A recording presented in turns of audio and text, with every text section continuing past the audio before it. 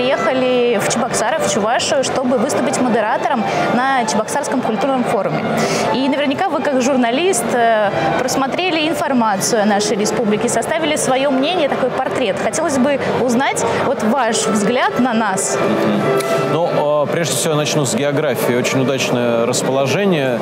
Сердце Волги не сердце Волги, да, но почему бы нет.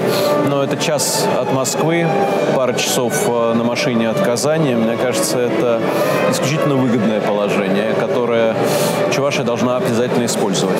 А, это удобно и для туризма, и для инвестиций, и для просто привлечения э, людей какими-то событиями на территории Чуваши. Мне кажется, что вот если бы я давал какие-то советы, да, э, местному, местной власти и бизнесу, я прежде всего исходил бы из географической близости к главным центрам, ну вот, если посмотреть, главный центр страны и большой региональный центр Казани и большой бизнес-центр. Это очень важно. Плюс э, то, что я успел заметить, э, это хорошо развитое сельское хозяйство, достаточно высокая плотность населения, что редкость для России. Потому что Россия в основном э, страна малонаселенная, бесконечно растянутая и пустынная. Иногда летишь над Сибирью и не видишь вообще ни одного огонька. В Чувашии высокая плотность населения и развитое сельское хозяйство. Это основа, мне кажется, сферы услуг и агротуризма, безусловно. А, потому что для сферы услуг нужно много людей, нужен трафик, а для агротуризма нужно, нужно работающее, экологически чистое, успешное сельское хозяйство. Это, вот, мне кажется, очень важный момент. И, э, конечно, Волга, сердце Волги. А, это невероятные возможности для туризма и развития туристических э, э, туристических возможностей региона, я думаю, одна из главных задач. Вот сегодня на пленарном заседании культурного форума это была центральная тема. Как сделать Чувашию привлекательной республикой для туристов, но и комфортной, интересной средой для жизни и работы. Что еще очень важный момент, что мне кажется здесь важно. Есть достаточно низкие зарплаты. Это и хорошо, это и плохо. Да? Плохо, конечно, когда у тебя низкая зарплата, но это очень хорошо, потому что здесь реально э, разместить производство и сделать его конкурентоспособным. Э, и это приведет потом к росту зарплат, понятно. Этот фактор конкурентоспособности будет утрачен, но завод-то будет уже стоять, в принципе, и рабочие места уже будут созданы.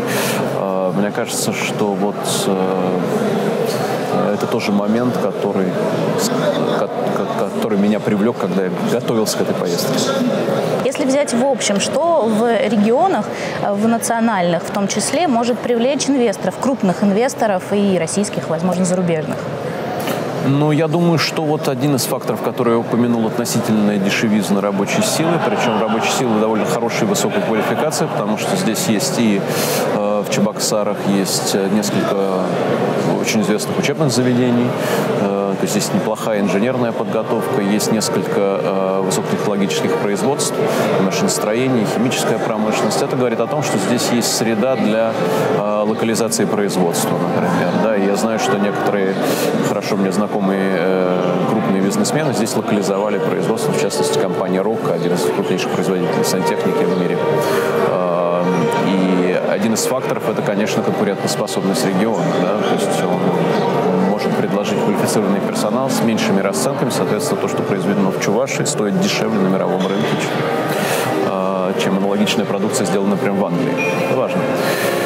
А, я думаю, что э, большой фактор э, – это возможности сельского хозяйства. Здесь надо смотреть, потому что сельское хозяйство на подъеме. Россия вообще сельскохозяйственная страна. Это было заблуждение делать из нас индустриальную империю. Мы с нашими просторами, с нашими пахотными землями, безусловно, навсегда будем сельскохозяйственной страной. Это не значит, что у нас не будет развиваться все остальное. Да? Рад, что в нулевые мы вернулись на международные рынки с экспортом.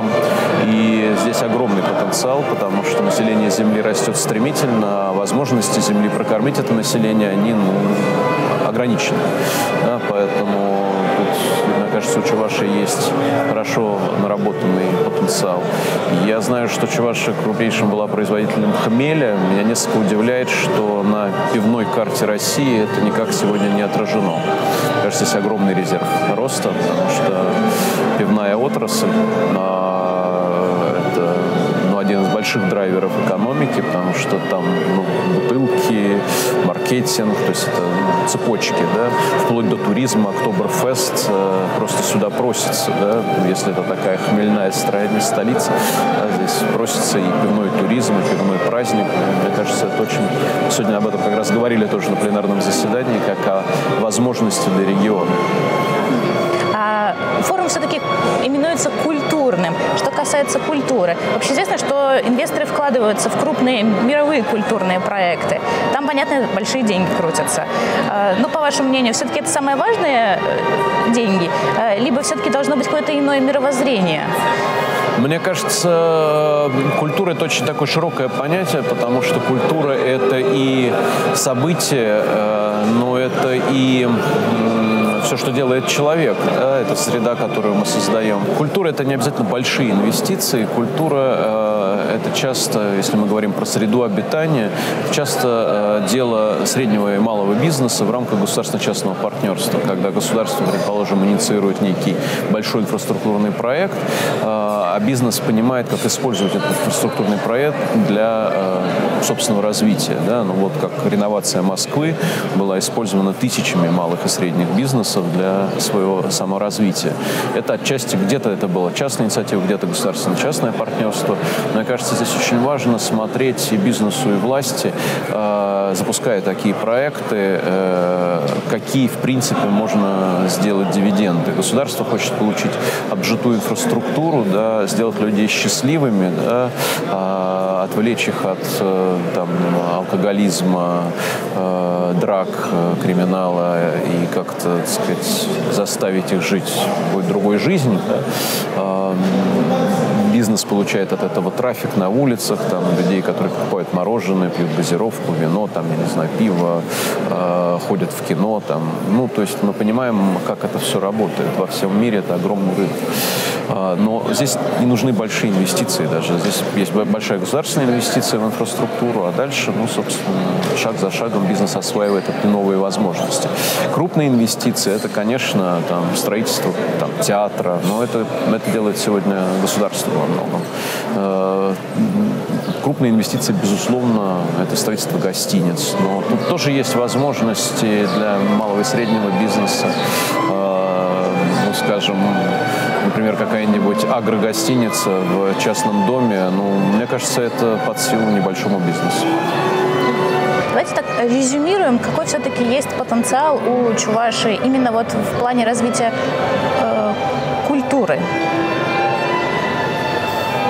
Ну, в принципе, культура э, это люди, да, то есть пока в Чувашии высокая плотность населения, пока есть э, прекрасная столица, в которой люди хотят жить и работать, есть Волга, да, э, культура никуда не денется, да, нужно просто э, понимать, как в современных, в современных условиях, в современ, современными возможностями, да, превратить преимущество региона в рабочие места, в э, инвестиции, в том числе иностранные, э, как создать э, здесь условия для комфортной жизни молодежи, чтобы молодежь не уезжала, например, в Казань или в Москву или за границу. Очень важная сегодня вещь. Мы живем в глобальном мире, и задача удержания людей на земле это принципиальная задача. Без интересной, насыщенной культуры невозможно это сделать. Если человек понимает, что ближайший театр в часе лета до Москвы, он улетит в Москву рано или поздно. Да? Поэтому здесь должно быть интересно жить, насыщенно, комфортно. Кажется, это задача вот, в том числе культурного форума найти пути решения этих э, непростых, но очень важных для экономики 21 века задач. Сами бы вы как турист сюда бы приехали, вообще слышали до этого про Ну, Чебоксары, конечно, Чувашу? я, Как-то я помню. привлекало вас это? Екатерина говорила, великая, да, про Нижний Новгород, что он плохо, а Чебоксары строением хороши.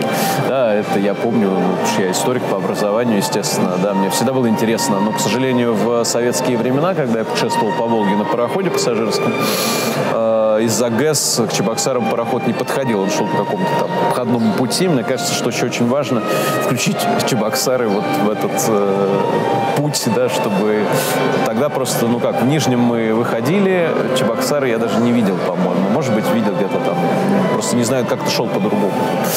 И дальше следующий город Казань. Да, вот, мне кажется, надо вернуть Чебоксары на карту, э, в том числе культурную карту страны, э, потому что, ну, если Екатерина II писала в 18 веке, то уж сегодня, если бы она увидела этот город, я думаю, она была бы приятно удивлена, как я был приятно удивлен, когда я приехал сюда. Спасибо вам за интересный содержательный разговор. Спасибо.